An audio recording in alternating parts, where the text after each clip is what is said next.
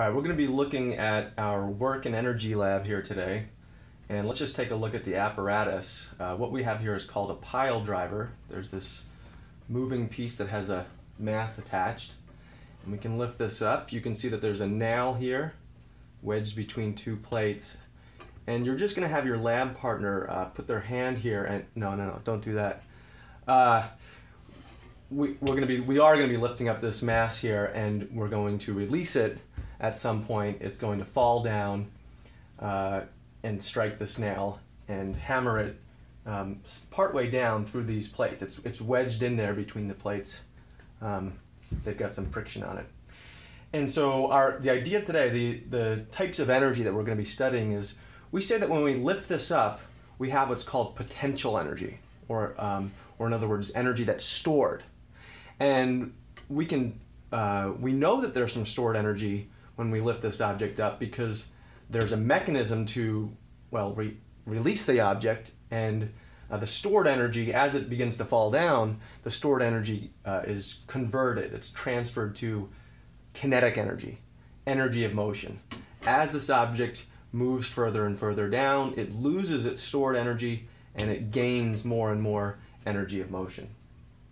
Finally, when, the, when this pile driver strikes the nail here, uh, we say that it does, we, it does work on the nail because it's going to be applying a force to it as it drives the nail um, downward th uh, through the two plates that it's wedged between. And so today we're going to try to investigate what, uh, what factors does the amount of stored energy depend on. And actually, if you look at the data table, well, there's some hints there for you. Um, because what we're going to be investigating, the, the two factors we're going to investigate are how does height, the height that I lift this object and release it from, uh, or how far it falls, how does that affect how much energy is stored? And also, how about the, the, the mass that I add here to the pile driver? If I add more or less mass, does that affect how much energy is stored? And so we're gonna we're gonna split it up into two experiments here. And so in our first experiment, um, this is our data table on page 27. And in our first experiment, we're going to be varying uh, the initial height, the height that we release the pile driver from, and we're going to be measuring the distance the rod moves. In the second part of the experiment, we're going to keep the distance that the, that the driver falls, we're going to keep that constant the whole way through, um, and we're going to be varying how much mass is added. And so a couple things about this. Number, um, number one, we want to calibrate the machine when we first get started. We want to do this once, and um, we don't want to adjust these wing nuts whoops, uh, after the initial time. So what we're going to do is we're going to, we're going to use the 500 gram mass, because that's the most mass we're going to use, and we're going to use 20 centimeters. Here's 20 centimeters. I've got a marker up there, the clip. It's located up here at 20 centimeters. And so that's going to be the largest uh, height that we drop it from. And we're going to start off there. This is not one of our data points. We're just calibrating our machine here. We're going to release it. And actually, I might need a little bit more tightness. It, we, we want this nail to go pretty far down when we use this mass and that height, um, but we don't want it to touch. If it touches here, then we're losing accuracy in our data um, because we don't know how far it would, would have driven the nail if it hits the floor. So actually I'm going to make it just a little bit tighter and here's a little hint here. We can grab this flat weight, this mass here, and that'll help us lift it up um, that nail to the same height every time. And actually I am just going to tighten these just a little bit here. And when I tighten those, the two plates are pushed together more tightly, and so we've got a larger friction force that, that um, this driver has to work against here to get that nail through. So let's try it one more time. And that looks pretty good. If we can see this down here, um, the edge of the nail, it's more than halfway down, um, but it doesn't hit the doesn't hit the bottom, which we, we don't want it to hit the bottom. Again, once we've got that set, we're not going to be adjusting these wing nuts for the rest of the experiment. Otherwise, that'll throw off our data quite a bit. All right, and so I'm just going to lift that up and let's take a look again at our first two uh, our, our, experiments here. And the first one, um, so we're gonna you're gonna vary the height, and we're gonna um, so from four centimeters up to 20 centimeters. In other words, um, we're going to take our centimeters here, and our first one is we can, I guess let's just go down to, I'll tell you what, let's, let's do 12. That's one, that'll be one of our measurements. Um, and this will be a little bit easier to see for us. So we're going to start at 12 centimeters. Um, so I think we can see that if that's 12 centimeters, if I now lift this up so it's touching that clip, then this space here should also be 12 centimeters. And we're going to release it.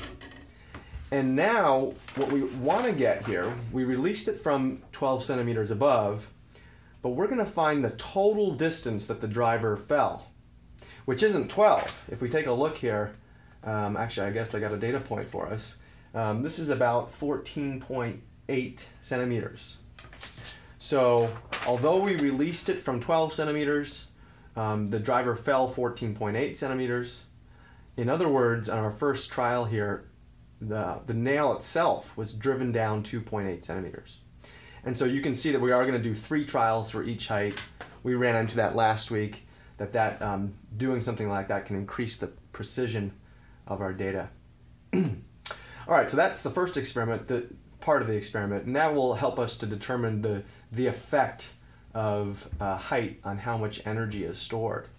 Because ultimately, all the energy that's stored as I left this up uh, it first gets turned into kinetic energy, energy of motion as it falls. It moves faster and faster. And then all that energy is used to do work on the nail. And that work that is done on the nail is proportional to how far the nail is going to move there. All right. So in our second part of the experiment, this is a little bit tricky here because we want to maintain the same driver fall distance of 20 centimeters the whole time.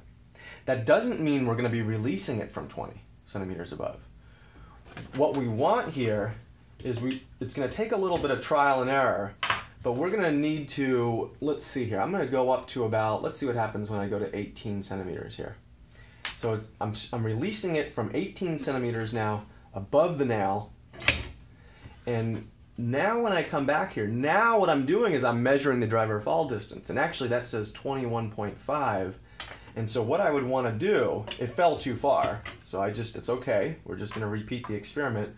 But I'm going to go down to, um, let's try, uh, let's try, let's see about 16.8, 16.8 centimeters. Let's see what happens here in my experiment. So we've got that. Now I take a, a look again how far, and that's at about 19.8 centimeters. So I'm pretty close. We might want to just adjust one more time in order to make the total fall distance 20 centimeters. And so um, that's what we're going to be trying to do in this last part is figure out what initial height gives me the total uh, 20 centimeters. So in this example I just did, I have the 500 grams added here. Uh, my initial height was, well, let's say it's about 17 centimeters here. And the distance the rod moves is an additional three. And so the total distance that the driver fell there is 20 centimeters. Uh, and so that is about it as far as the equipment goes here. And uh, so we'll have a couple of graphs and some questions that we'll get to later.